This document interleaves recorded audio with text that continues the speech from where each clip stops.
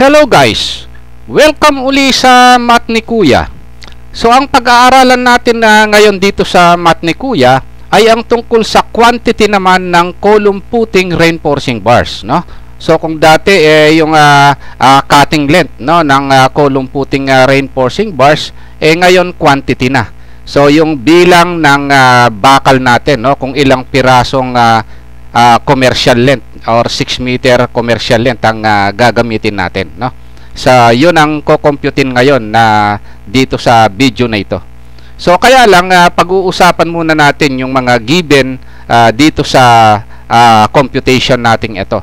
So ang unang given natin ay yung ah, length ng ah, ah, bar natin no? So ang length ng ah, bar natin yung cutting length na ah, given dito is yung 1.45 meters. Na kinompute natin dati no? So yung ah, pre- nung previous sa video natin.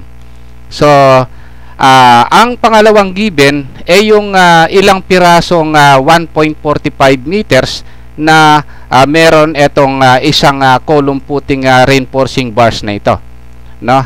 Ah, dito ha sa given natin ito meron tayong 8 pieces ah, both ways na bakal. So ibig sabihin along the length ah, walong piraso 'yon and then along the width ah, walong piraso rin. So ibig sabihin ah, 8 plus 8 16 pieces ang meron yung isang puting na ito, no? So kung 10 yung ah, puting ah, ang ah, given kasi nating ah, puting is ah, 10 pieces, no? So kung 10 yung puting natin, ah, 16 times ah, 10 ang ah, num- total number of bars natin is 160 pieces. Yung yung 160 pieces na yun, guys, ah yun yung piraso pa lang ng ah, 1.45 meters or 1,450 mm na piraso. Hindi pa yan yung commercial length. So, mamaya, ang kukomputin natin ay yung kung ilang pirasong commercial length or 6 meter commercial length ang gagamitin natin.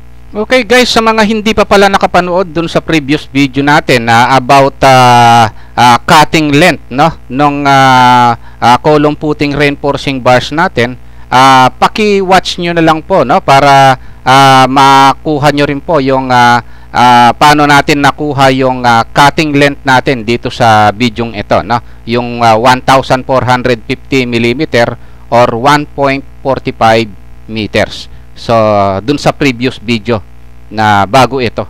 So ngayon guys uh, kukomputin na natin yung ah, kung ilang pirasong ah, 6 meter commercial length ang gagamitin natin. So ang gagamitin natin commercial length dito is 6 meter commercial length no?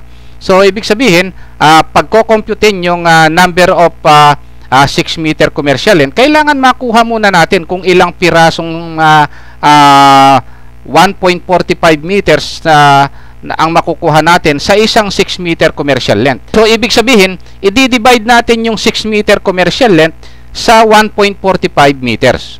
So, ayan yan, no? So, 6 divided by 1.45 meters is equal to 4.14 pieces, no? Na ah, 1.45 meters. Meron yung isang 6 meter commercial length. So, yung 0.14 na yun, guys, scrap na yon. So, ang makukuha lang natin ah, na na 1.45 meters eh apat na piraso lang. Say 4 pieces no? So ayun yan so yung 0.14 is scrap. So ngayon since meron nga tayong ah, apat na piraso bawat ah, 6 meter commercial length eh ilang 6 meters ang ah, magagamit natin dito sa ah, computation nating ito. So madali lang yun guys no? So ang na-compute natin kanina ah, yung bilang ng 1.45 meters sa ah, sa sampung ah, puting is 160 pieces, no? So, yung 160 pieces na yon, i-divide lang natin yan sa 4. Kasi, apat na pirasong 1.45 meters ang makukuha natin sa isang 6 meters. So, ayun yan, no? So, ibig sabihin, ah, yung pieces ng 6 meter commercial length is equal to 160 divided by 4. Ang answer dun guys is 40 pieces. Yung 40 pieces na yan guys, yan yung ah, 6 meter commercial length na. So, ibig sabihin, gagamit tayo ng 40 pieces, 6 meter commercial length. So, ayun yun guys, no?